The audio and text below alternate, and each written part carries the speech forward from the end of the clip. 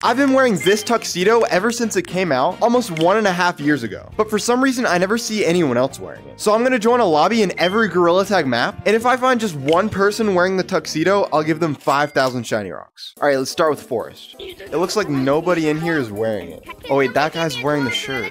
The shirt doesn't count though, only the tuxedo. All right, now let's check in City. Doesn't look like anybody in here is wearing it. All right, now let's go to Mountains. Still looks like nobody's wearing it. All right, let's go to the new map. Someone sounds like a monkey in here. This guy's wearing the top hat and the bow tie, but not the tuxedo. All right, caves time. Oh my god, another top hat guy. There's like nobody in here. No tuxedo in here. What the Doug doing down here? All right, now the canyons. Another top hat guy. Nobody in there. And finally, the beach map. Looks like nobody in here either. Dang. You see what I mean? Nobody wears it. Subscribe if you think more people should wear the tuxedo.